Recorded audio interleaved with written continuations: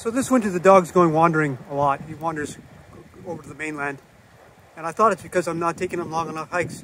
But yesterday I went to take him on a hike and he left during the hike he took off. And he came back about 30 minutes later and proceeded to throw up on my floor. Ham chunks, vegetables, a candelabra. So one of my neighbors is feeding Dukes. No wonder he wants to wander. Now he's going to wander to every house there is to see if they have treats for him.